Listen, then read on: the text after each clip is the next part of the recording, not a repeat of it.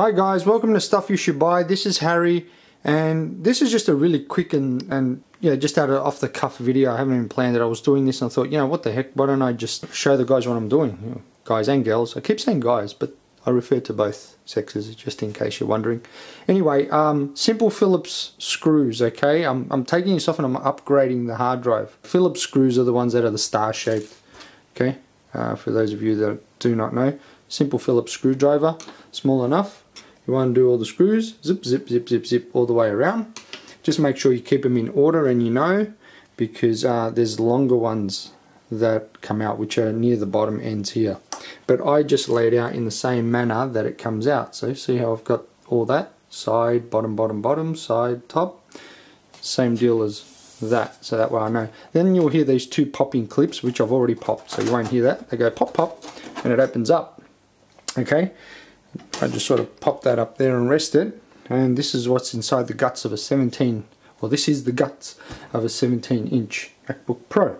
Um, and what we're doing is we're changing this little device here. I'm going to put a one terabyte in here.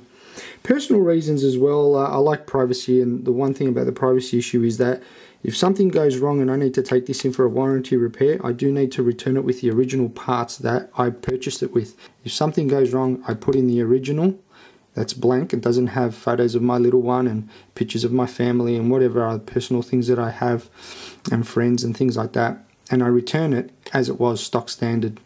And if it if I put the original in and it starts working, then I know it's a hard drive, so I'll just get another one. But if it isn't, well, then at least I don't return it with my private stuff on there.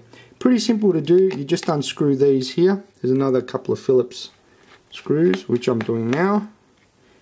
And unscrew that one. Okay. This I think should just pop out. I'll leave the screws in there still. And then you've got this flap here lifts out nice and easy, nothing crazy, and then that would unplug from there and you'll put the new one in. I just got the uh, drive, this is it, as you can see, a one terabyte, about the same, exact same size, uh, purchased it for around 125 bucks, um, and this is the old one. Now, just to sort of let you know how it came out, really simple, after we've screw, uh, unscrewed them, there's just the uh, plugs here, and this was connected to them and we just slid that out just to sort of give you an idea. I'll pop that like that and just sort of show you because I did that before I started recording. So this was sitting in there and then we just sort of slowly slowly pulled it out and it unplugged. Pretty simple as you can see. Not hard. Okay. Now the new one. Some new hard drive here. Fresh unopened. Ah don't you love that always love opening brand new fresh things. And here we are. Always a good idea is to be grounded and never touch under here okay? You don't want to short anything out. Believe it or not our body can hold up to 5,000 sometimes even more uh, volts okay? And it's not the volts that kills you in electricity it's usually the amps that kill you. Um, but the volts can give you a pretty nasty shock.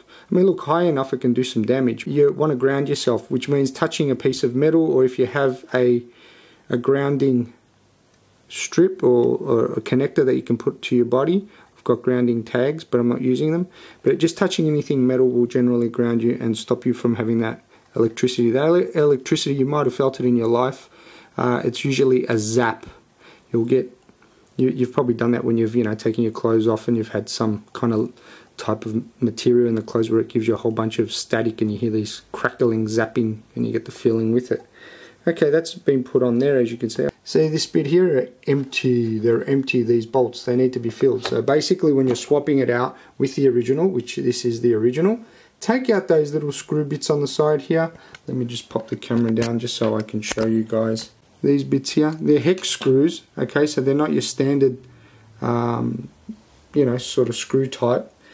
Uh, so I won't work with the Phillips. I'm bringing it in a bit closer so you guys can get an idea what I'm talking about. Sorry about my shaky hands.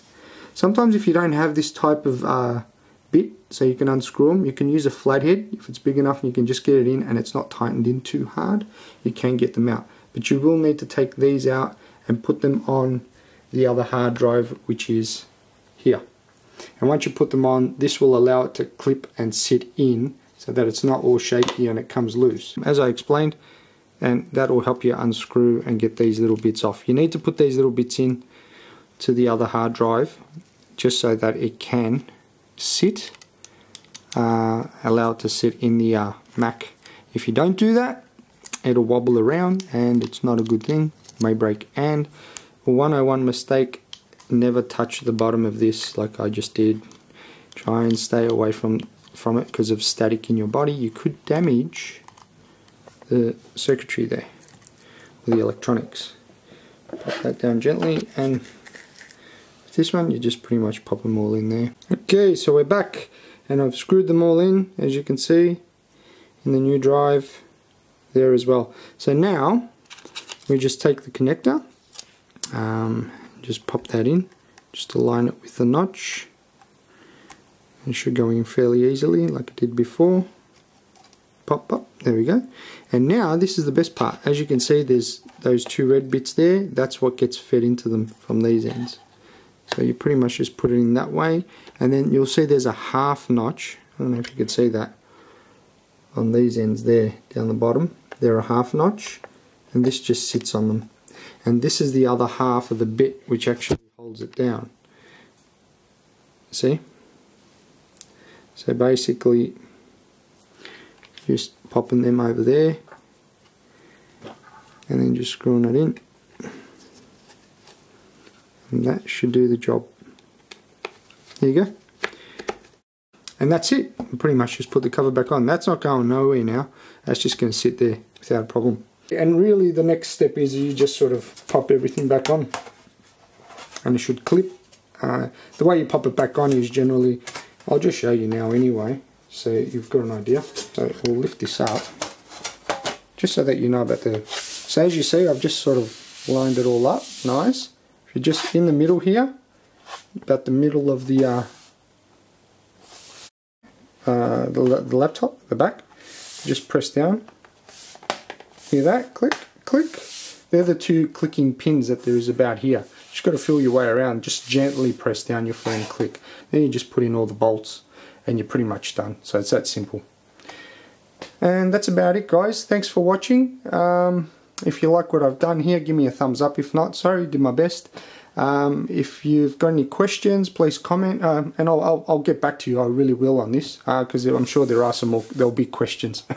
um, if you've got any ideas or anything you can add to this that I may have missed or I'm not sure of, because sometimes that happens, please share. I really would appreciate it, and so would everyone else that's uh, checking this video out uh, just share it in the comments and also if you like my video subscribe and I'll keep uploading guys. I'll anything new or anything I find I'll upload uh, and share with you guys. Sometimes it might not be something I've purchased. It might just be something I find really cool in the shop or in the store and I'll make a quick recording of it.